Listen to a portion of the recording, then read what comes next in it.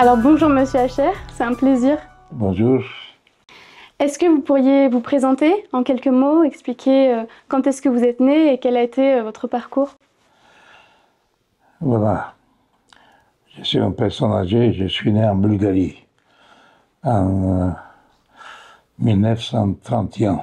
Est-ce que vous pourriez nous, nous parler de votre métier au sein de l'UIT Quel était votre métier? Quelles étaient vos missions?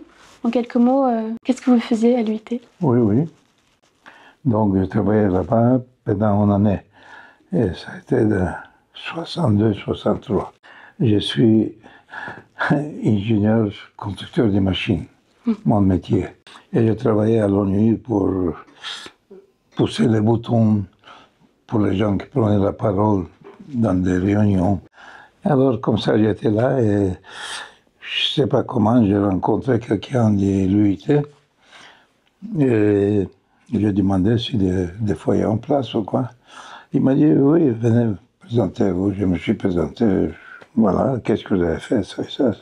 D'accord. Il y a en place ici, dans la, section de distribution, comme, comme je dis, des, des, des canaux, des, des radios pour le, monde, entier.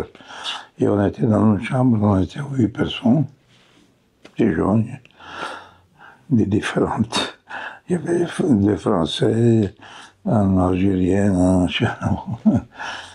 Et pour pas que les postes radio se marchent là-dessus, qu'ils tous travaillent ensemble, alors on disait depuis 7 heures, c'est la Géorgie, à 7 heures à 7 heures et demie, la Guinée, euh, d'après les horaires.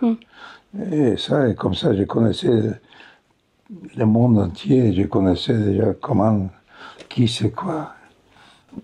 On, on travaillait sur, sur, il y avait des cartes IBM et on, on recevait des, des casiers avec des cartes et chaque fois on prenait une carte, on la lisait et on disait d'accord, d'accord, d'accord, on faisait la liste. Et ça, comme ça, ça marchait pas mal. Et ça a été assez facile, et gentil comme. Et je sais que vous parlez beaucoup de langues. À l'UIT, à quelle langue vous parliez dans votre travail? Je parlais déjà les Bulgares, les Russes, les Français, les Turcs. Et j'avais appris un peu l'allemand aussi. Comment vous définiriez en trois mots ce que faisait l'UIT Si vous deviez trouver trois mots qui résument ce que faisait l'UIT à cette époque, qu'est-ce que vous diriez? Justement, le réglage des télécommunications dans le monde. Mm. L'équipe était gentille, on était bien, on rigolait beaucoup. Mais sinon, ça allait bien. Joyeux anniversaire à l'UIT.